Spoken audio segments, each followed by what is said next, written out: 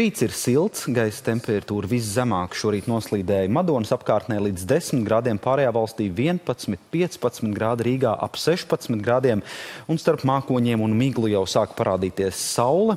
Diena būs saulaina un arī ļoti silta gaisa temperatūra. Kurzemes piekrastē ap 20, 21 grādu, līdzīgi arī vietām vidzemes piekrastē, Ainažu salacgrīvas pusē, bet pārējā valstī 23, 26 vietām zemgalē līdz pat 27 grādiem, un tas jau būs ļoti tuvu šī datuma 11. septembra siltuma rekordiem.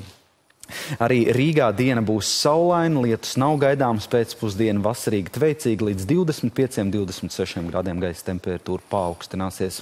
Un vēl arī dažas turpmākās dienas ar līdzīgiem laikapstākļiem gaisa temperatūra gan otrdienas, gan trešdienas agrā rītā pazemināsies līdz 10, 16 grādiem, pēcpusdienās 20, 27 grādi un otrdiena visā valstī bez nokrišņiem, bet trešdien vēlā pēcpusdienā un vakar pusē kurzemē parādīsies pa kādam lietus un negaisa gaisa mākonim, kas arī iezīmē šī siltuma viļņa beigas, bet jaunākās prognozes rāda, ka strauji pēkšņs un liels vēsums vai augstums Latviju nesagaida, tikai neliela temperatūras pazemināšanās un nedēļas nogalē brīvdienas jau atkal būs itin siltas.